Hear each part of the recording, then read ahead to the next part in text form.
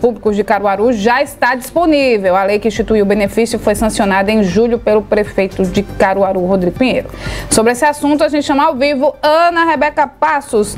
Ana, então, né? Bom dia. Onde os servidores podem solicitar esse vale?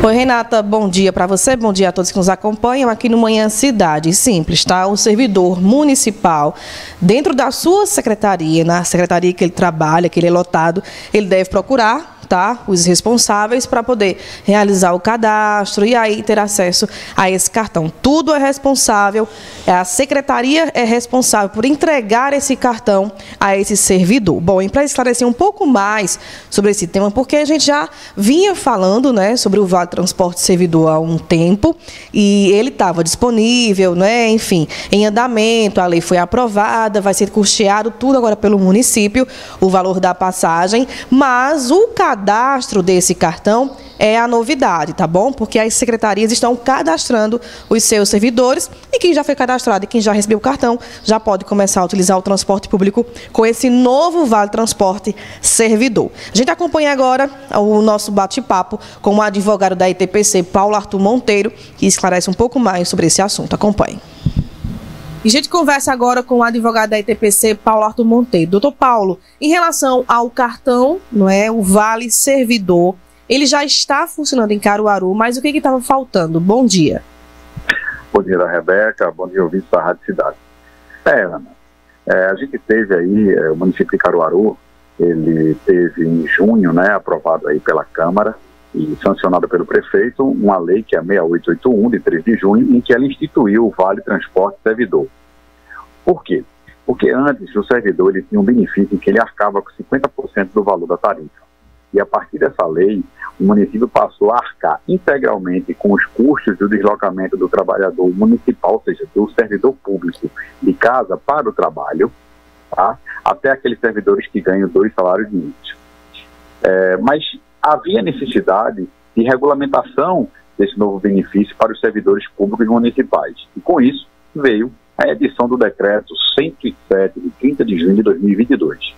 Esse decreto, Ana Rebeca e ouvinte, ele, de forma bem objetiva, ele colocava os requisitos para que os servidores públicos municipais, os empregados públicos municipais, eh, teriam que eh, se cadastrar para, para recebimento desse cartão para fazer o, o, uso desse benefício. E aí houve todo um, um, um, um tempo para fazer a divulgação para todos os servidores municipais, fazer o cadastramento junto ao respectivo órgão, departamento pessoal de cada órgão ao qual esse servidor estava vinculado, e até no caso onde não havia esses órgãos, a Secretaria da Administração do município, e findou que coincidiu também com a, a falta no mercado do chip.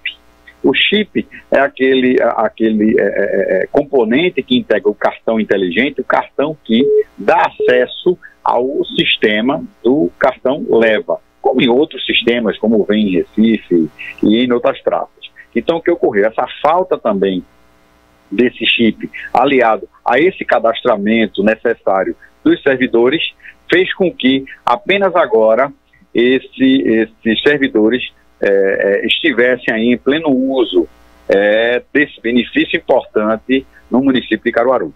No caso, eles já estão de posse desse cartão, que é repassado pelas suas secretarias, não é isso? Todo o custo também é por meio do município, é dessa forma. Exato, Ana. Então, a secretaria, a respectiva secretaria a qual esse servidor estava, está vinculado, lotado, ela procedeu o cadastro, a análise da documentação e, logicamente, a entrega do cartão com os créditos e lhe dá acesso é, ao sistema de transporte público coletivo de passageiros, agora com custos arcados pelos cofres municipais. Muito bem. É, em relação também ao cadastro, não é isso, Paulo? É, o servidor não precisa se preocupar ou as suas secretarias é quem resolve isso? Exato, Ana. Na regulamentação, ou seja, é, o que definiu o formato de acesso a esse benefício, que esse decreto que eu acabei de falar?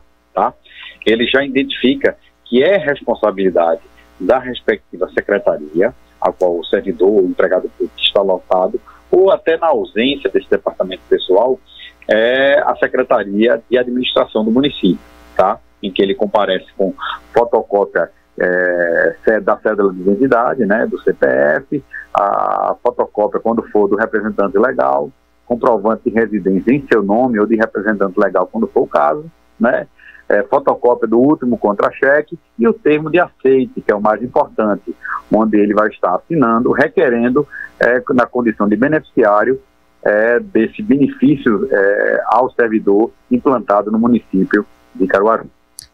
Ok. Arthur Monteiro, advogado da ETPC, muito obrigada pelas informações. E a gente continua acompanhando, né? Caso o servidor público municipal tenha alguma dúvida em relação a isso, vocês estão à disposição, né? Pois bem, Ana Rebeca, a gente segue é, totalmente à disposição né, dos teus ouvintes da Rádio Cidade, é, levando informação de forma mais clara e precisa, especialmente nesse caso, aos servidores públicos municipais. Eu que agradeço a oportunidade de desmistificar aí o que é complexo para os seus ouvintes. Obrigada. Né, a nossa conversa com o advogado Paulo Arthur Monteiro, ele que é advogado da AETPC, que é a associação que representa as empresas de ônibus aqui na cidade de Caruaru. Gente, só reforçando, a adesão do servidor municipal ao benefício do Vale Transporte é opcional, tá? Mas é importante esclarecer que esse novo cartão, é, ele é custeado, totalmente custeado agora, os 100% pelo município, pelos cofres públicos. Antes, o servidor tinha apenas o benefício da meia tarifa e agora ele vai poder circular tranquilamente, sem ter é, nada descontado na sua folha de, de, de pagamento. Né? O município é quem está custeando e é um benefício muito bacana, não é isso, Renata? Para que o servidor possa é, circular pela cidade, ir e vir, trabalho para casa com um benefício é, garantido por lei. Renata. Obrigada, Ana. Não, a grande conquista aí para a categoria dos servidores públicos municipais.